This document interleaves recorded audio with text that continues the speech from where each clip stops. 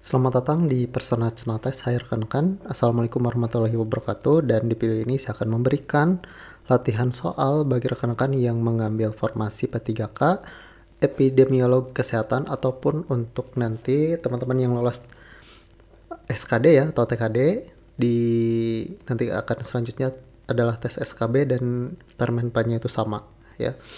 Dan sebelum kita mulai jangan lupa di subscribe kalau sudah saya akan berikan informasi dulu terkait soal uh, soal-soal P3K.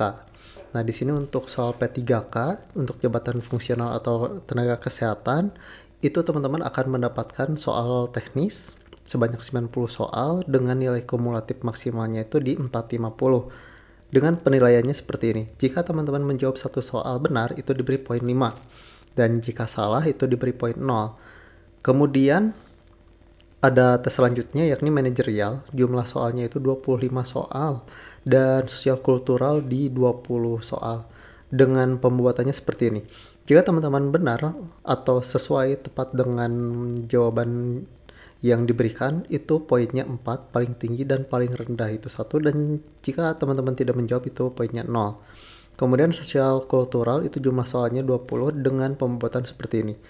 Jadi jika teman-teman menjawabnya sesuai, itu poinnya tuh 5 dan paling rendah itu poinnya tuh 1. Seperti itu. Kemudian untuk pembobotannya atau nilai kumulatif maksimalnya itu di 200 untuk dua subtes ini. Nah, selanjutnya setelah mengerjakan teknis, manajerial sosial kultural itu submit lanjut ke soal wawancara. Itu pilihan ganda.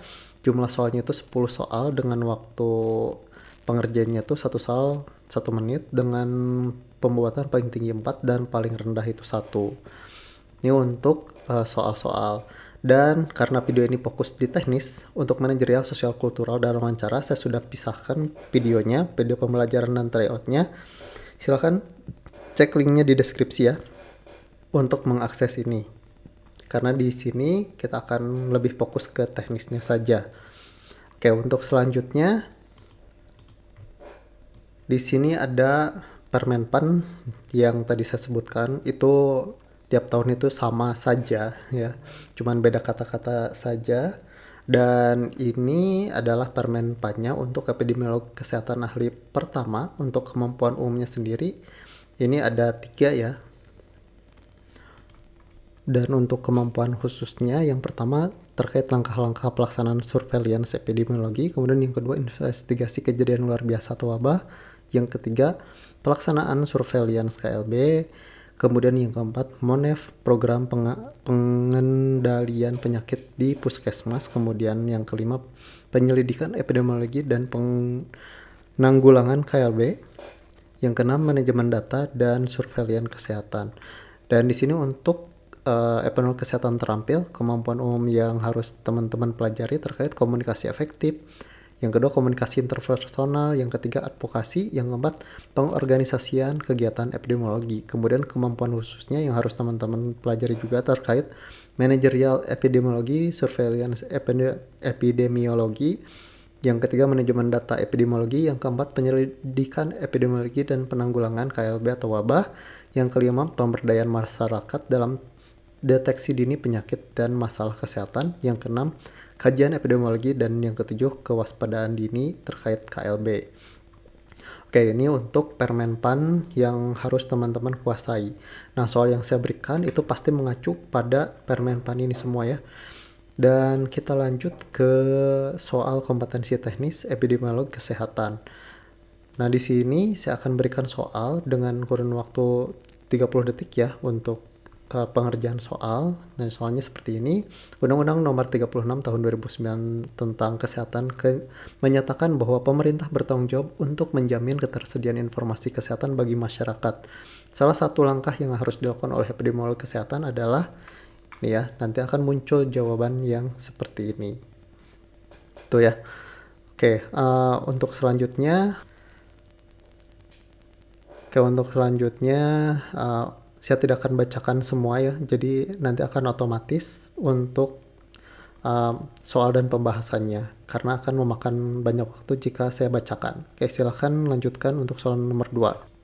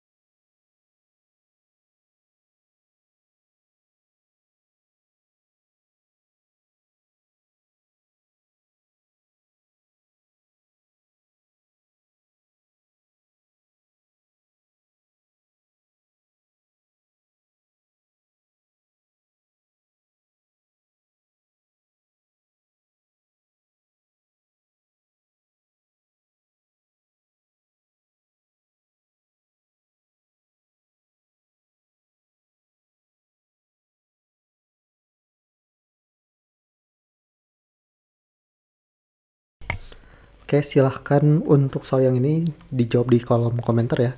Dan juga jika teman-teman memerlukan untuk soal tryout-nya, silahkan cek linknya untuk Shopee ya. Ini linknya ada di deskripsi atau di Tokopedia untuk soal epidemiolog kesehatan dan bentuknya ini ebook ya dan ada dua tryout dan juga materi teknisnya. Oke.